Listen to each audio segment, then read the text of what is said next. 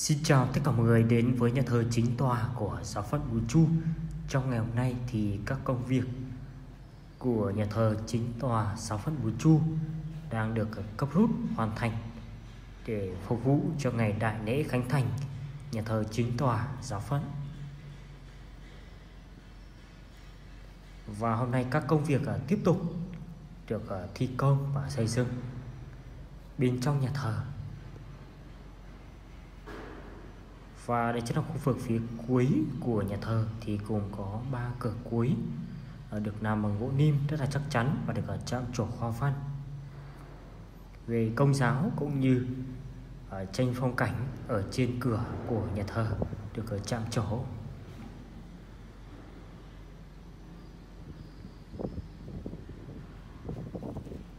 và bên trong nhà thờ thì có cái đèn pha này.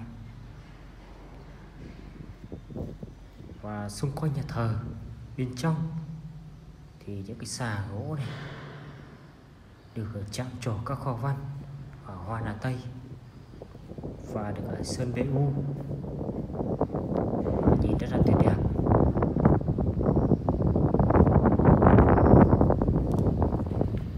Và đây chính là bên ngoài nhà thờ, ở khu vực ở sân và quảng trường, bên phía nam của ngôi thánh đường và đây chính là tháp chuông của nhà thờ đã được khởi sơn xong.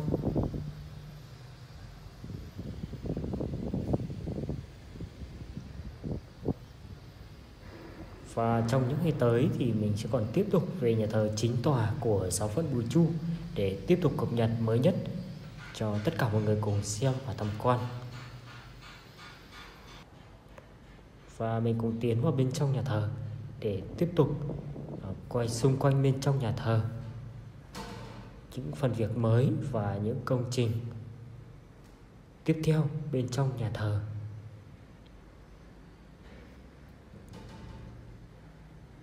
Và như các video trước mình đã nói, thì bên trong nhà thờ tường đã được ở sơn. Và tất cả các cửa của nhà thờ ở xung quanh đã được ở nắp. Và trên những cái con thông cửa sổ ở bên trên thì người ta nắp bằng kính trắng. Và xung quanh thì có khung bằng nhôm đúc.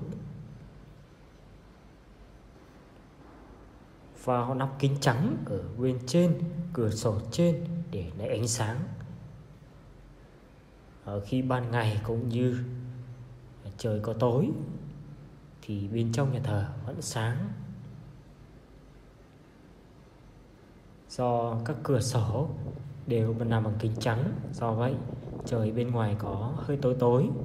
Ở buổi chiều thì ánh sáng bên trong nhà thờ vẫn cứ sáng. Và đây chính là các đèn chùm bên trong nhà thờ. Và đây chính là các cửa sổ của nhà thờ chính tòa. Và khu vực gian cung thánh này, tất cả các bậc thợ đang tiến hành nắp dựng khu vực cửa võng cũng như chuẩn bị cho tòa sắp tới. Ở bên trong nhà thờ rất là rộng. Và đây chính là khu vực ở bên phía nam bên trong nhà thờ. Đấy, đá chân tường này.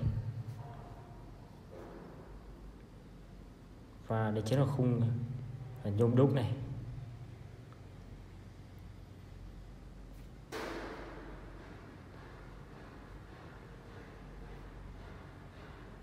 Và để tiến lên phần trên gian cung thánh thì tầm khoảng 4 bậc. Và gian cung thánh của nhà thờ chính tòa giáo phận Bùi Chu khá là đặc biệt. À, toàn bộ gian cung thánh ở phía nam, phía may, ở phía chính giữa à, đều làm chiều cao à, bằng nhau và gồm tầm khoảng 4 bậc để lên gian cung thánh. Và nói chung cái gian cung thánh này rất là siêu rộng do được à, làm đều, cao đều so với phần của giáo dân ngồi.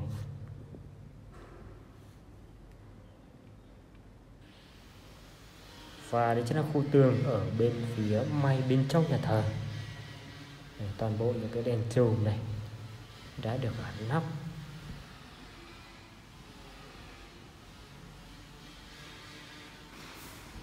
và để chính toàn cảnh bên trong nhà thờ.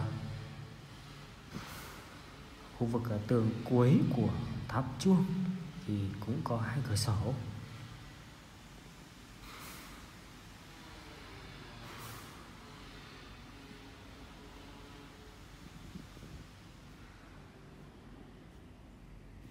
Và như vậy thì nhà thờ chính tòa của Giáo Phật Bùi Chu cũng sẽ sớm được hoàn thành và sẽ sớm được khánh thành.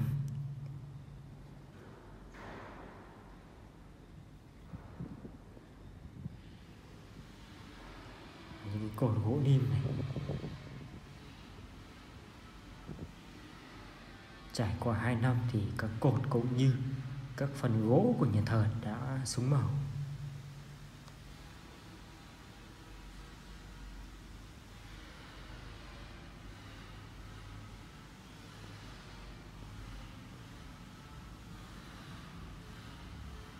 và đây chính là khu vực phía may này, bên trong nhà thờ. Và toàn cảnh bên trong nhà thờ thì đã được à, lắp lên chùm ở một số gian.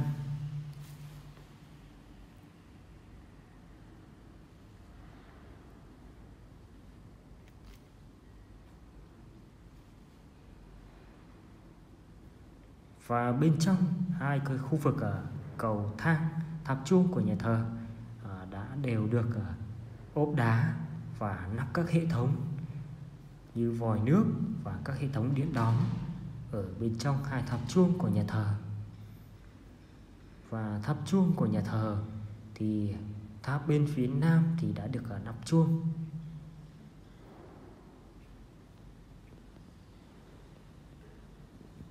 Và đây chính là khu vực ba cửa cuối của nhà thờ, đã đều được à, bọc lại để tránh bụi bẩn, cũng như nắng gió trước ngày khánh thành.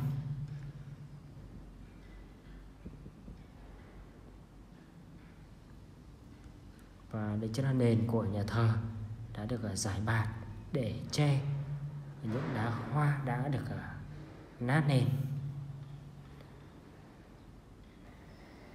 Và đây chính là toàn cảnh phía bên trên của nhà thờ chính tòa giáo phận Bùi Chu toàn bộ nhà thờ, bên trong đã được làm bằng gỗ. Nhìn rất cổ kính. Và mọi người nhớ đăng ký và nhấn thông báo để đón xem các video tiếp theo. Xin chào.